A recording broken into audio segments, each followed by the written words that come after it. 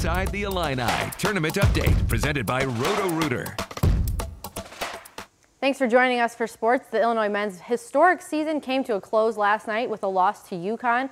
The Illini made their first Elite Eight appearance since 2005. They finished the season with 29 wins, which is the third most wins in program history and the most in 19 years. While it wasn't the finish the team wanted, they can call themselves Big Ten tournament champs while also putting their names in the history books at the university. You know, it's going to be a team that's remembered forever. Uh, did something that hasn't been done in this program in 19 years, and we were able to do it uh, this year. So, uh, you know, he said it was the most fun, one of the most fun years he's ever had as a coach, and uh, you know, it's like that for all the players too. You know, it's, uh, when people talk about family, it's a real family. So, uh, you know, it's disappointing how the season ended, but you know, it's going to be remembered for. It.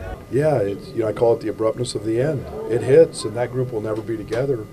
And I hope truly when they're brought back to Illinois in 10 years, 20 years, whatever.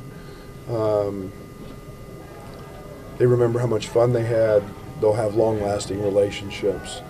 Uh, they'll remember a crazy old man that they brought along and did, you know, super soaker squirt guns with or whatever they're called, and and um, hoisting trophies and cutting down nets and um, yeah, it, it, it's it's it's hard not to get emotional when you when you've got a group like that.